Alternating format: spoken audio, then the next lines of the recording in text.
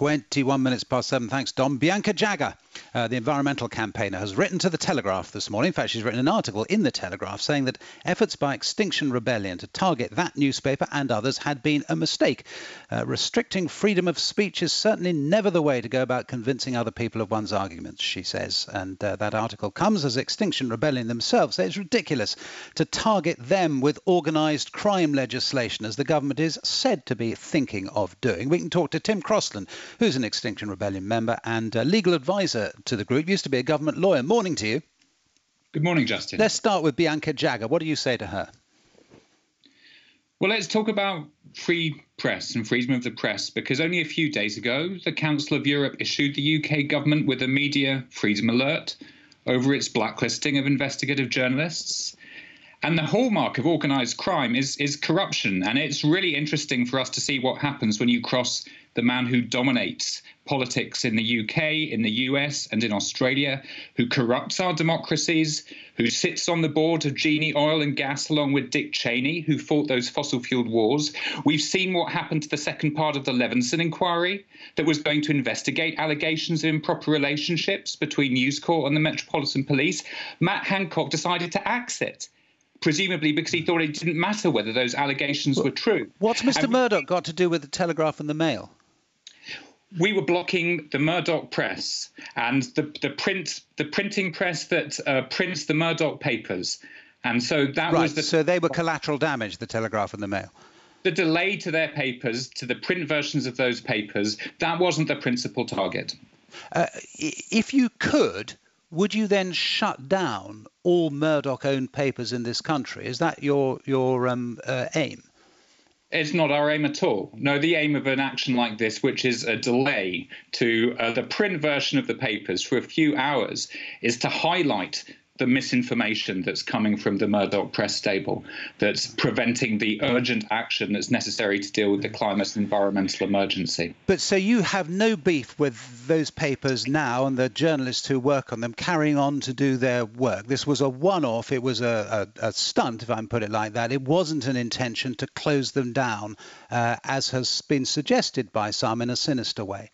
There's complete, of course, there's no intention to close the newspapers down. That's not the way direct action works at all. There is nothing more important to Extinction Rebellion than access to accurate information. That's the central tenet of Extinction Rebellion. Yeah, but when you say accurate information, I mean, it's just ac- access to what people say about things, isn't it, as well? That's what worries people. And you obviously have the right to say what you believe about things. But do you accept that other people who disagree with you, including actually Mr. Murdoch, but more more importantly, a lot of other people in this country also have the right to have those things read, discussed, talked about.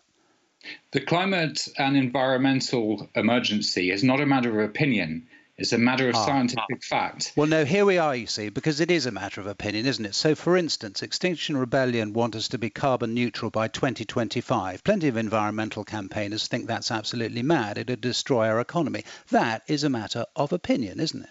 The climate environmental emergency has been recognised by Parliament in May 2019. Yes, but they don't want to do the things that you are suggesting we should be done. All I'm suggesting is that there is room, is there not, for um, a, a, a disagreement, a legitimate disagreement between people about what is going on there, there is no room for disagreement that urgent and radical action is being taken, and the government is failing to do that. And the Murdoch press is making that failure possible and facilitating it. There's no room for disagreement about that. When you say there's no room for disagreement, that will strike people as essentially totalitarian. You are not allowing people to take a different view, or you would not allow them if you were in control. Well, let me let me. This is not about control. We've got no interest in control. What we're interested in is, is proper democracy, where, where people make evidence-based decisions on the basis of good evidence. So let me please give you two concrete examples of this.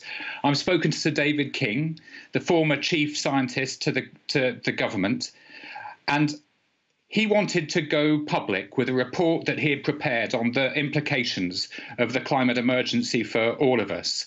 And he was blocked from doing that by a special advisor at number 10 out of fear of upsetting the Murdoch press. That's what's happening to our democracy. Let me give you one more example, please. Briefly. Um, um, the wildfires in Australia as scientists have made quite clear, the Murdoch press's attempts to, to attribute those to um, arsonists, to environmental policies, was just plain false. So disgusted was James Murdoch by the misinformation around that that he's left News Corporation. Well, there we so, are. It's a discussion between people about what's going on. That's my point, that you don't seem to want to have the discussion. You want to shut people down. What we've done is precisely what's getting me onto the station this morning, which is facilitating a discussion about the power of the Murdoch press All over right. our well, that's, that's a fair point, I suppose, but we are out of time. Chris, Tim uh, Crosland from Extinction Rebellion, thank you.